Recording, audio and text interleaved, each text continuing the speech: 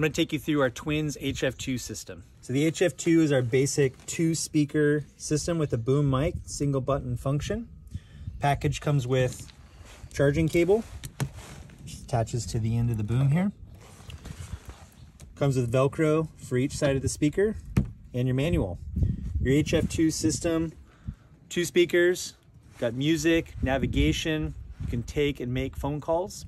And if you have an HF3, you can pair it for the intercom for a rider passenger on your HF2.